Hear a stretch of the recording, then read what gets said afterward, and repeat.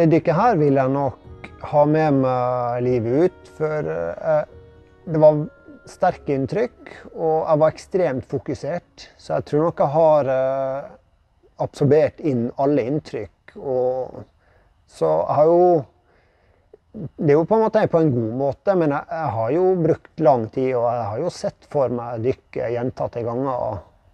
Utallige ganger, siden, selv om det går et år nå.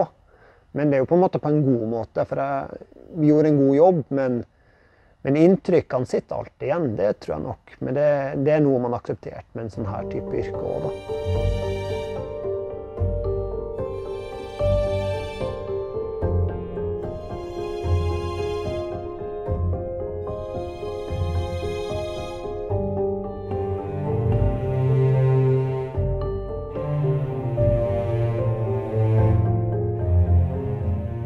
Har nok brukt en eh, fire dager i alle fall.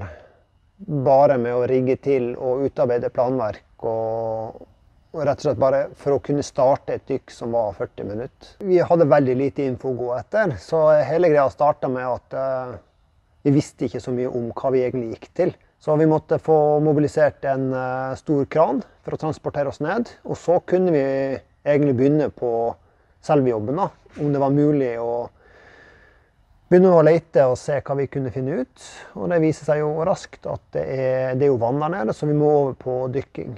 Det var kald eh, trekk gjennom eh, hele gruva. Det var fire-fem grader konstant, og vannet var fire grader. Ekstremt med søppel. Men eh, vi la på en måte litt vekk det søpla som fløyt der, og prøvde å liksom bare fokusere på at det var et vann som vi skulle gjøre et søk i.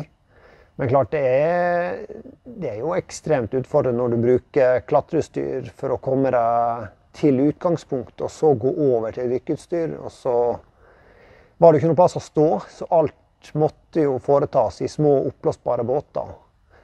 Og så måtte vi ha sikkerheten i høysetet på, på grunn av Vi visste ikke hva som fantes av søppel videre nedover.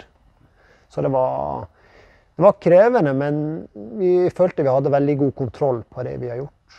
Sånn, jeg var, når jeg drev på og søker der, så var jeg ekstremt fokusert for å få med meg det som var, for det var så mye jeg måtte fokusere på.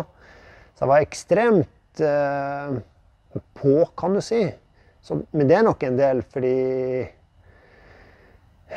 Ja, det var, det var så mye objekter i som fløyt av søppel i overflata. Det fløyt i selve vannmastene. Og bånden var på en måte søppel. Så mange ganger så visste du ikke egentlig hva som var opp eller ned.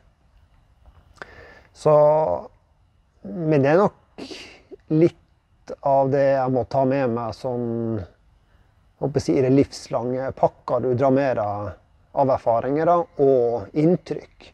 Jeg vil nok sitte igjen med det her dykket livet ut.